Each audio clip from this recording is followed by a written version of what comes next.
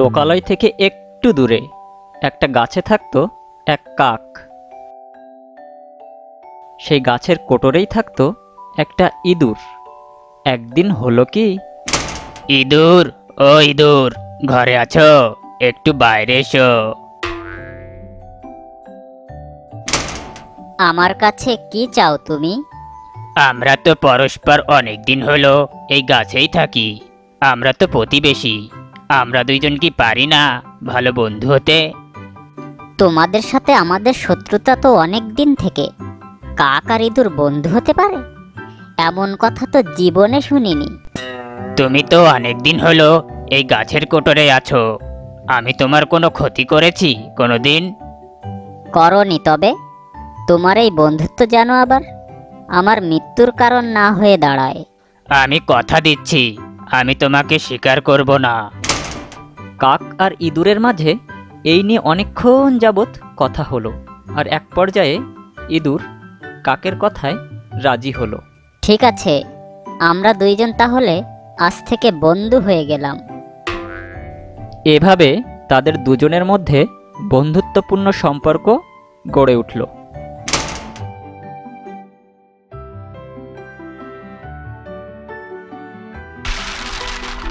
আমরা এখানে আর শান্তিতে থাকতে পারব না। কেন?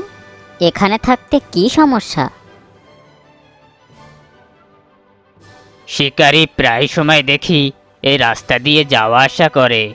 তাই বুঝি? তাহলে এখন আমরা কি করব? আমি আগে নদীর পাশে একটা সুন্দর স্থানে থাকতাম। সেই জায়গাটা ছিল গাছগাছালিতে ভরপুর। জায়গাটা বেশ চমৎকার। সেখানে আমার একটা কচ্ছপ বন্ধুও ছিল। আর সেখানে খাবার দাবারের কোনো সমস্যা ছিল না। চলো আমরা সেখানে যাই। ঠিক আছে বন্ধু তোমার যেমনটা ইচ্ছা।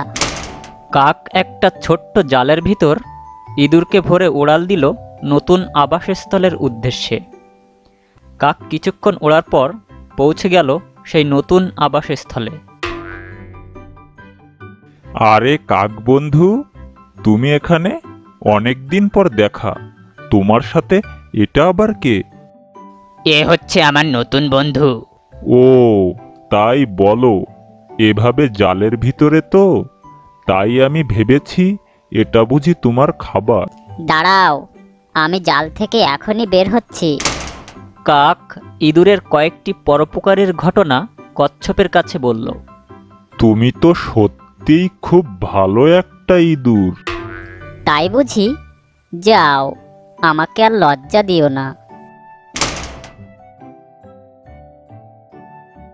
একদিন তারা তিন বন্ধু গল্প করছিল।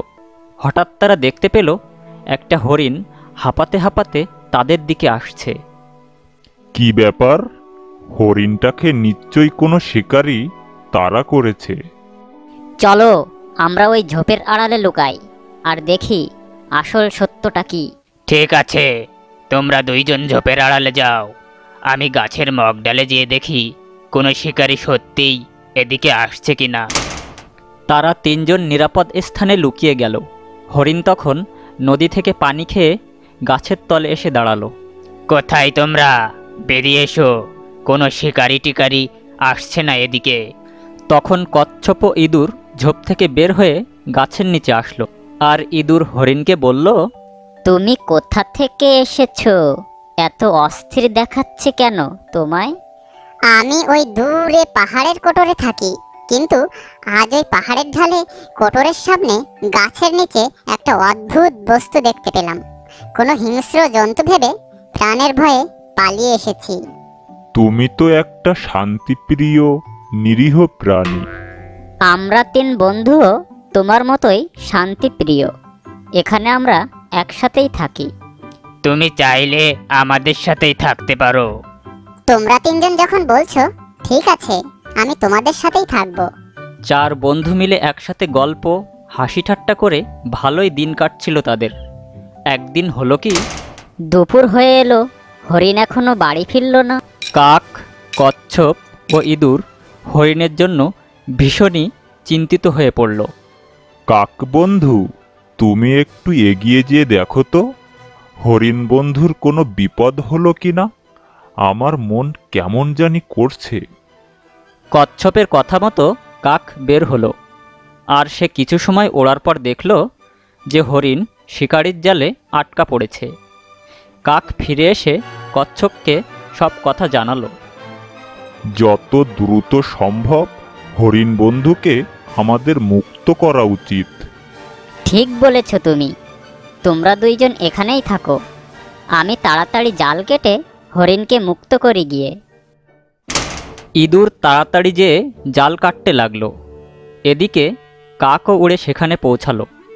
কচ্ছপ একা ঘরে থাকতে পারল না। ইঁদুর যতক্ষণে জাল কাটতে থাকল কচ্ছপও ধীরগতিতে সেখানে যেয়ে পৌঁছালো। বন্ধুরা যত দ্রুত সম্ভব আমাদের এ স্থান ত্যাগ করা উচিত। শিকারী যে কোনো সময় এখানে আসতে পারে। কচ্ছপ বন্ধু আমি তো তোমাকে ঘরে থাকতে বলে এলাম। তুমি এখানে কেন এলে? বন্ধুত্বের অধিকার পূর্ণ করতেই এসেছি। আর তা হলো বিপদের সময় বন্ধুর পাশে থাকা। কিছু মনে করো না বন্ধু তুমি তো এখান থেকে দ্রুত পালাতে পারবে না।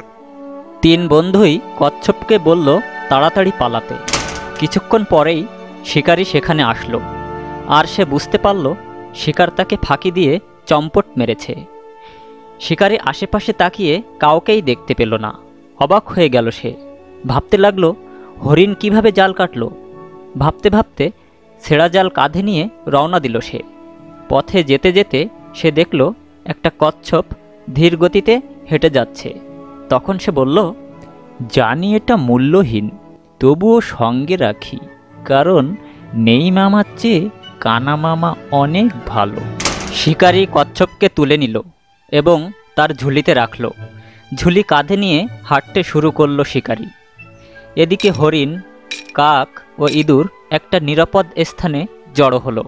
অনেকক্ষণ তারা সেখানে অপেক্ষা করল, কিন্তু কচ্ছপের কোনো পাত্তা নেই। তখন তারা বুঝতে পারল, কচ্ছপ নিশ্চয়ই শিকারের হাতে ধরা পড়েছে। সবকিছু আমার জন্যই হয়েছে। এখন কি করে আমরা কচ্ছপকে মুক্ত করব? পেরেশান হয়েও না বন্ধু। একতাই বল।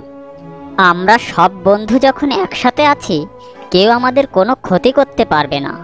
আমাদের পক্ষে সব কিছুই করা সম্ভব। কি করতে হবে বলো? শোনো আমরা তিনজন একটা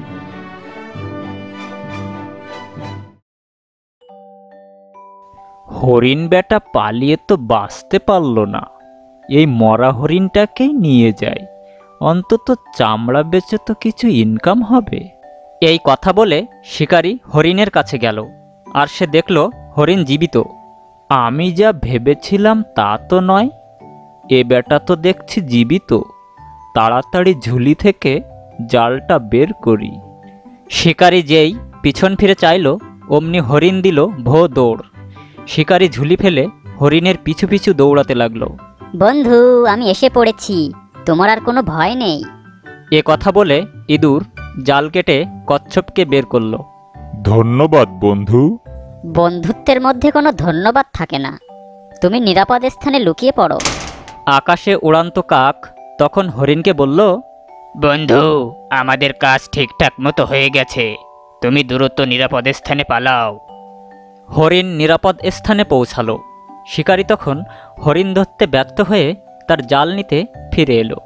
এসে দেখল জাল ছেঁড়া, কচ্ছপও পালিয়েছে। শিকারি তখন হতাশা মনে বাড়ির দিকে পথ চলতে থাকল। আর এভাবে কাক, কচ্ছপ, ইঁদুর ও হরিণ একসাথে চার বন্ধু জঙ্গলে বসবাস করতে থাকল। একে অন্যের বিপদে সাহায্য করতে থাকল।